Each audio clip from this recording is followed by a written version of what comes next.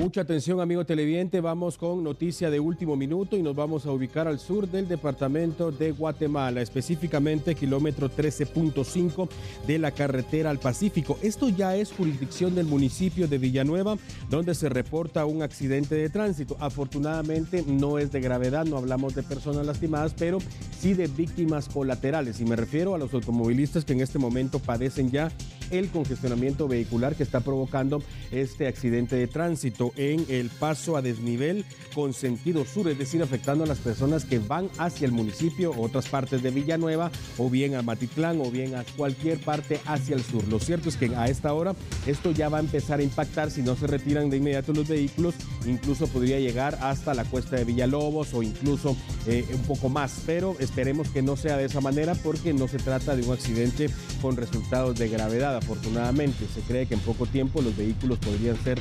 retirados de la escena para dejar libre la calzada y este paso a desnivel que es de tan importante cantidad de personas que lo utilizan cada día. Así que ya lo sabe entonces, precaución si circula o va a, circular usted esta tarde por ese sector de nuestro país, kilómetro 13.5 de la ruta al Pacífico, donde se reporta accidente de tránsito.